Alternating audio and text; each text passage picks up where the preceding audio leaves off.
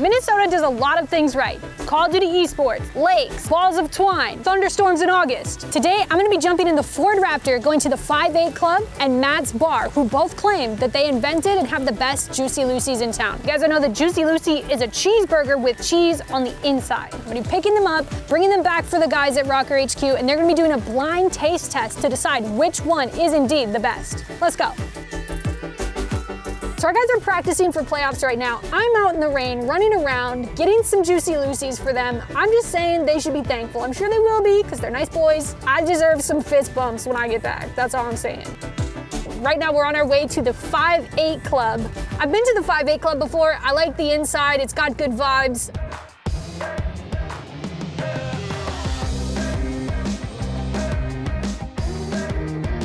I'm not gonna say where I'm at in the Matt's versus 5-8 Juicy Lucy war, but I'm just excited to see what the guys think.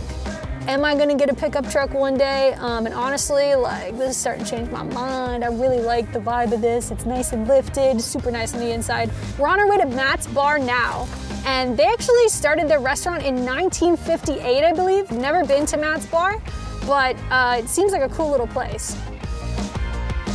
Matt's only allows American. I'm wondering why that is. Maybe they're cheese elitists. Maybe they just really love American cheese. Anytime you're looking at like a secret menu item like this, it's uh, it's got to be their way, right? So we're just leaving Matt's bar now. We've got all of our Juicy Lucy's in the back. I'm ready to go to RØKKR HQ. Uh, I'm trying to get over there so that these guys can get their hot burgers, taste test them, and tell us who has the best Juicy Lucy in Minnesota. Man, I'm afraid because we have even number people. That's so funny. So up first we have Burger A here. I'm not gonna tell you where it's from. I just want you guys to try it, eat it, enjoy it, and then we'll obviously have you guys try Burger B. And you guys just talk amongst yourself while you're trying it, give us your impressions, what you think, and at the end we'll have you guys vote. Is there not supposed to be cheese inside of the burger? Mm-hmm. There is. There is. I have cheese in mine. I barely have any. Okay, pickles are a nice touch. Do fries count? Because they're fire. On a scale of one to 10, what do you guys rate the Juicy Lucy that you just ate? Yeah, I'll give it. I'll give it a Seven, seven. Seven. eight, Seven. eight, seven. How'd you know? Adam? Pretty much sevens and eights across the board for everything, yeah? Yeah. I don't know. If, I don't know if it, hey, look. I, I don't know if it was because I was really hungry.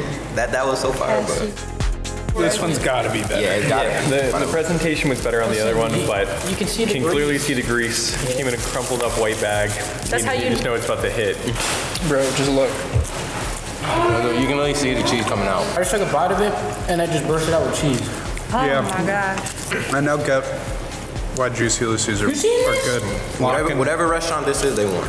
I'll, give, this I'll one give a- this one a seven and a half to an eight. Seven and a half to an eight on the second one. The first one's a, a hard six, I'll soft give five this one a and a nice half. greasy. Yeah, I- I'll give it a nine. After seeing the cheese on this one, like It's an eight. The first one was like a six. six. This one's Yeah. an eight. The burgers that you guys liked better was from Matt's Bar. I Bar. knew it. Matt's bar won the beef for them.